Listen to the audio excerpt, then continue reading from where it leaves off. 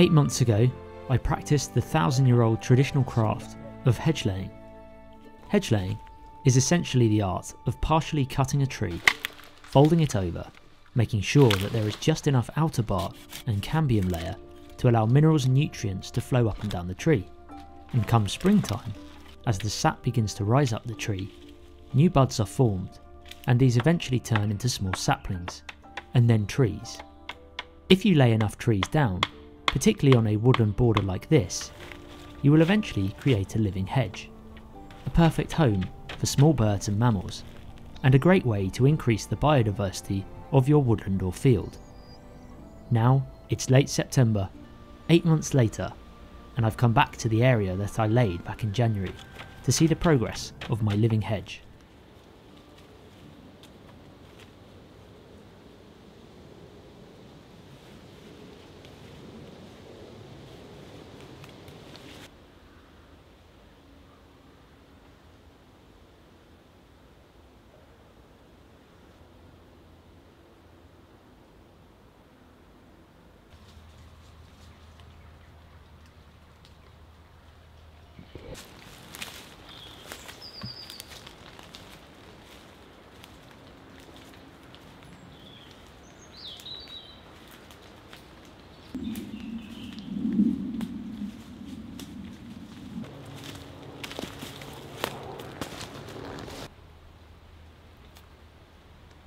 So it's a little bit difficult to see, but because there's there's so much dense foliage behind me of the nettles that are still up from the summer.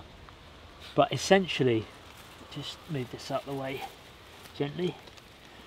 Down here, I don't know if you can see, but this is a bleached pleaching cut that I made back last winter. Sorry for the wind, it's um, it's really windy today. But you can see that's kind of dulled off quite nicely, the colour now. Obviously that was really white when I cut into that cambium layer.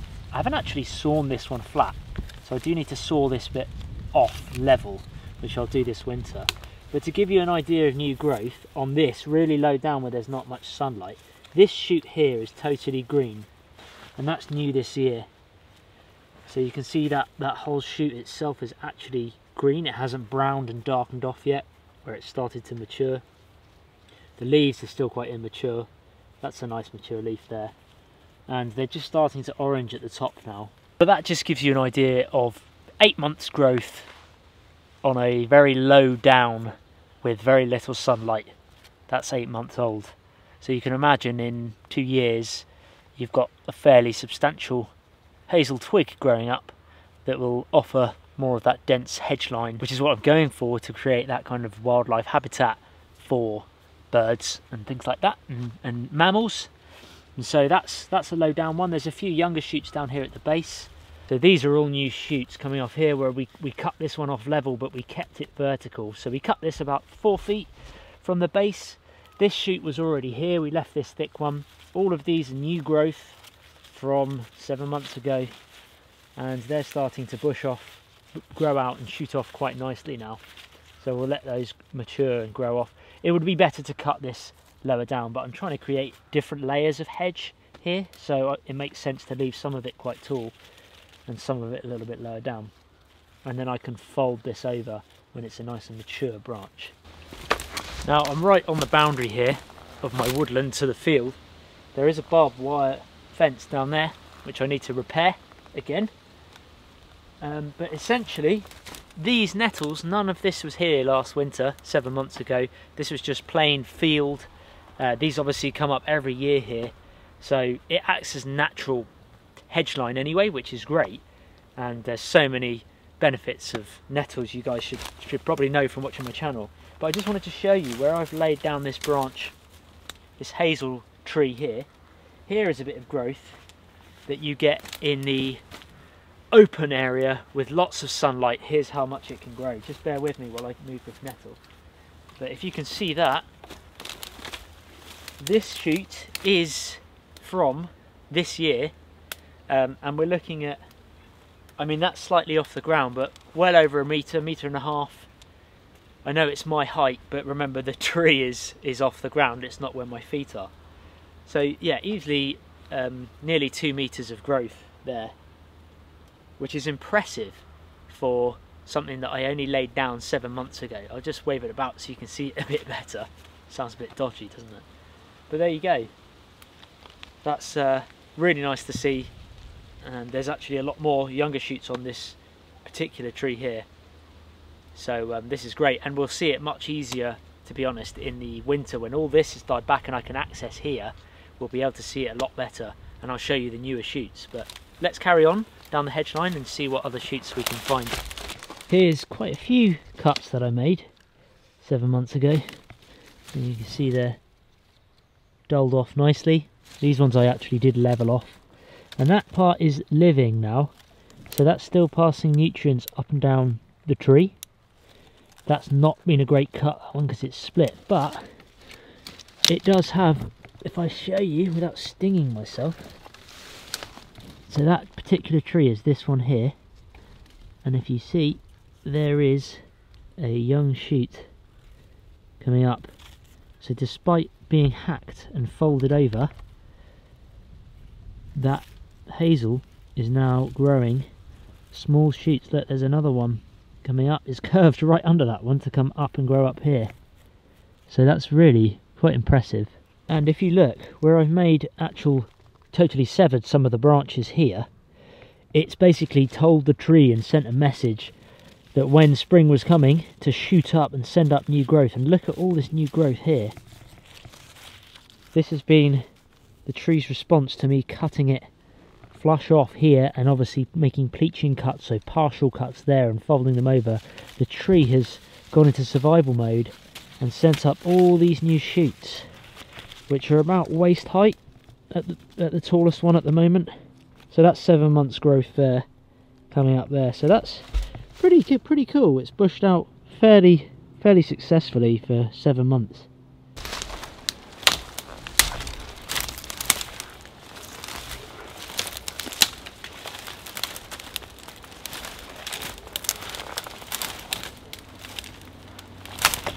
Whoop, we made it.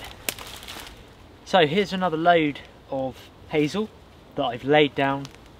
The pleaching cuts are just behind my back here.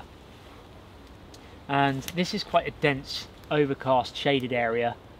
Uh, there's some there's some ash here. There's there's two large ash trees here. There's some fairly mature hazel. So there's lots of shade that's thrown over this area.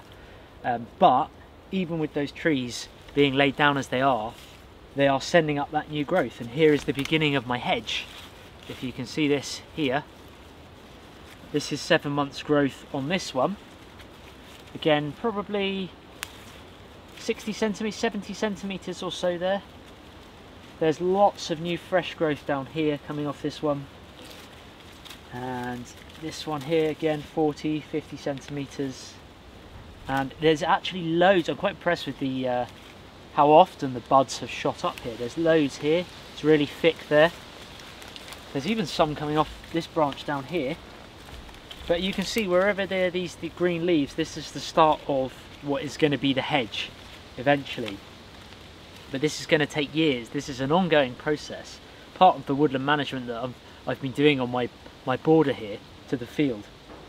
And it's just, yeah, it's a really enjoyable, fairly labour intensive technique, but really enjoyable winter, winter job.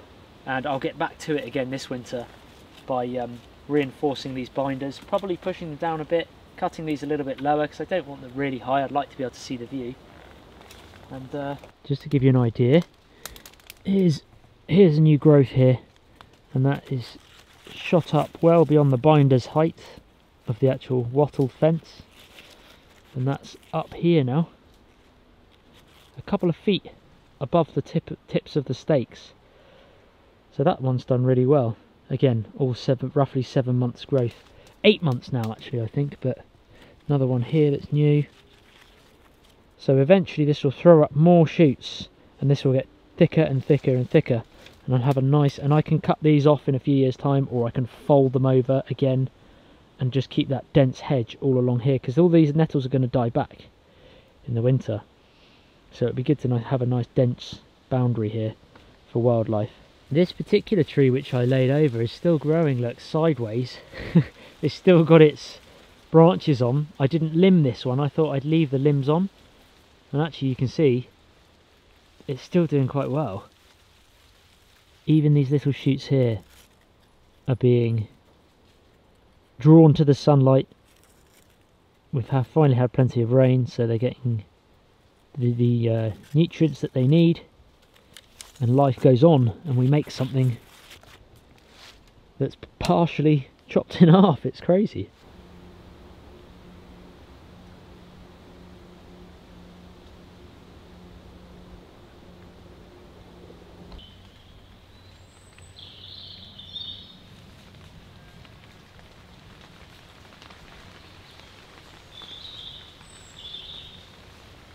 This one here is quite good new growth that. The thickness on that one. So it just goes to show what you can gain in about seven to eight months from uh, laying down your hedge your first cuts. The majority of them have actually gone beyond the height of the stakes and binders themselves. So that's good to know. What's really interesting is that traditionally you're meant to lay the tree in the uphill direction because the tree can then send those nutrients in the natural direction that it would anyway as if it was growing straight up from the ground. They say that if you lay them the opposite direction going downhill, the tree struggles to get those nutrients up and down um, through the cambium layer and it just struggles to grow. And I thought I'd try it out and test it. And it's true. Because here, these ones here are all going the opposite way of every other one that I've laid down towards the uh, corner of my woodland that way. And it's really interesting because the buds are there and the shoots are there, but they're so small. They're really struggling and they're very thin and they're very wispy. They've almost got no substance to them. And I wonder if that is because they're all lying the wrong way and so they're not getting those nutrients back up to the roots of the tree and back up to the uh, to the buds. So that's a really interesting test is actually they are weaker, the growth is weaker on, on the trees that I've laid downhill. Well worth doing that test to be honest. I'm really pleased I did it and I know now in the future anything that grows up here behind me I'll lay down this way and not that way. Another thing that does happen is that all of the, when you make these pleaching cuts down here, it naturally sends up shoots from the stump itself, the overall stool, of the tree sends up loads of new growth because that's where most of the energy is is down there. And so there's a lot more whippy branches that are doing well and coming up from that stump since cutting it making those cuts last last winter really. Lots of growth coming through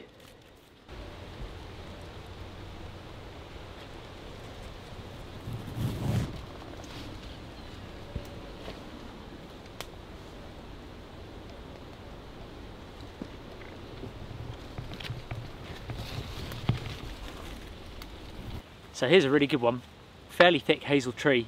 There's actually some smaller buds still coming through. But if you look at this, we have growth on the top, top side of the branch and even these ones that came out to the side all ended up curling towards the sun that way. But if you look, there's one, two, three, four, five, six, seven, eight, nine, nine new shoots all the way along here ready to come up and create the hedge. And this is a nice clear one, it gets a lot more light. So, interestingly though, it curves back down the tree, down that way. It's quite a bendy branch. And so the growth is not so straight, I've noticed on this one. And I wonder if that's a result of that or whether it is just a light, the amount of light that's got in here or not being able to get in here. But that one's a, really good one, nice and clear to see.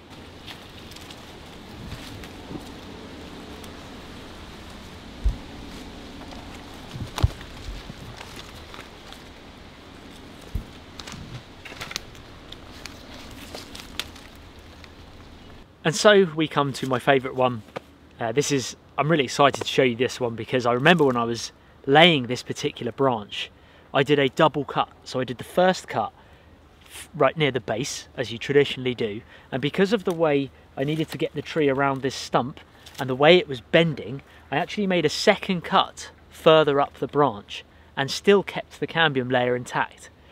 And look at this growth as a result. It's really bushy. In fact, it's probably sent the most shoots up out of all the other ones that I've done. And I don't know whether that is a stress response of the tree where it's had multiple cuts that it's actually sent up more shoots. That's what I'm guessing.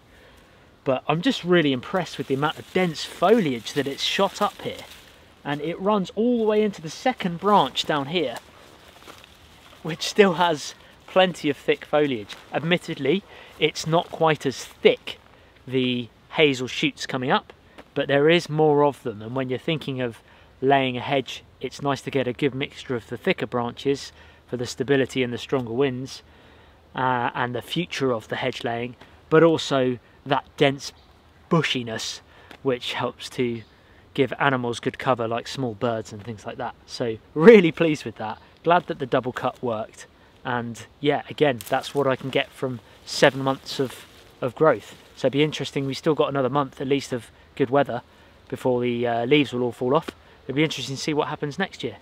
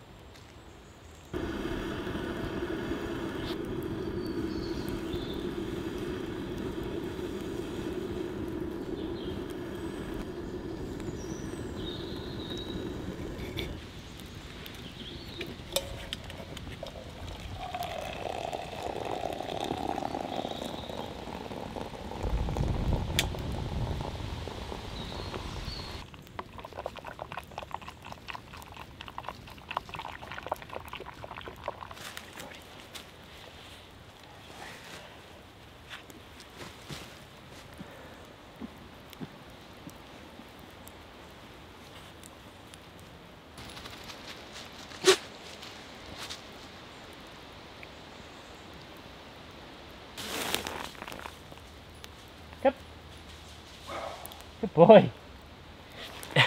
Nearly got a squirrel. Yeah. Well, I hope you've enjoyed that slightly different episode. Uh, I had so many comments on previous Woodland Life's videos, especially the hedge laying one, um, of you guys basically saying, you know, can you show us the progress uh, of, of, of what's happened? And um, when I was doing research into hedge laying, I'm looking up how other people have done it in the past and the historic ways of doing it and read books. Um, there was not too much information out there on how the progress of it and how much you can expect to the growth to be in a certain amount of time. For example, after a year. Well, there was more things after a year, two years, things like that. But from when I chopped it to winter, in the winter, eight months ago, to now, September, in that shorter period of time, there isn't really much information out there. So I thought I'd provide you guys with the progress of what it really is like the real-time growth eight months on from cutting those trees and laying them down. And I, have been really impressed to be fair.